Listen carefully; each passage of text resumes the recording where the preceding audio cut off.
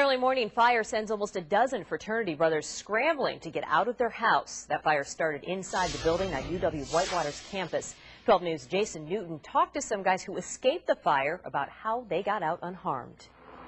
Rush was on at the UW Whitewater Tau Kappa Epsilon house early Monday morning. Smoke everywhere, just not knowing what was going on, just confused on what they should do. The charred hole on the roof tells the story of a fast-moving fire that left extensive damage behind.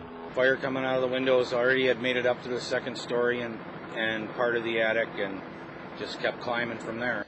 The students inside say they heard the fire alarm go off, but they hesitated because they've heard it before, usually a false alarm, someone burning something in the kitchen. But this time, something was different. He was barking, and then I just heard someone kept screaming, get out of the house, get out of the house, get out of the house. At close to 2.30 a.m., Corey grabbed whatever shoes and clothes that he could. His frat brother Michael and three other brothers who were inside made their way to safety.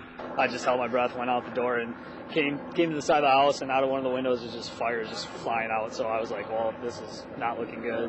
Frat brothers and their friends comforted each other outside later that morning. Police say that the fire appears to be accidental, but their investigation continues. In Whitewater, Jason Newton, WISN 12 News. One student was treated on the scene for mild smoke inhalation and minor injuries, but no other injuries were reported. The university's dean of students says all of the displaced men have found temporary housing. This is the second major fire at the TKE House. The fraternity dog was killed during a fire at the same building in 1996.